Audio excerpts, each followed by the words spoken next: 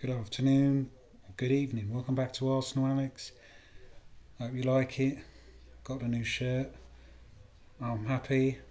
Arsenal 5, Liverpool 4 on penalties.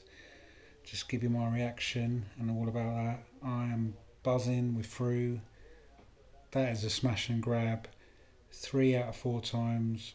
It's not a serum, but getting through against Liverpool with not, you know, not good players, not exactly great players, and yeah, um, like, yeah, it's nice. Just looking at Mikel on the TV, but, but, is this man going to back up his talk and bring in the players? He's got four days to do it because clearly he needs it because that was a smash and grab.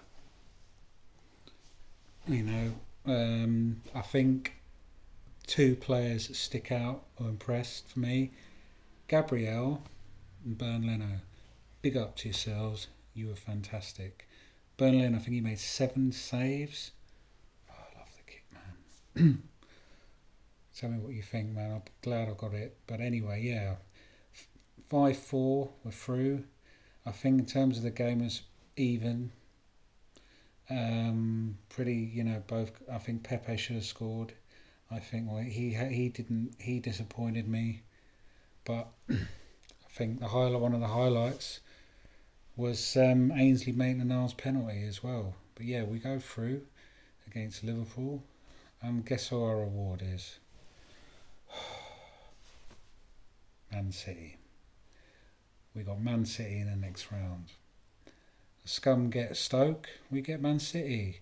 So we're playing Leicester, Liverpool, and Man City, and we're only in the quarter final. I think if we beat them, you're definitely going to win it.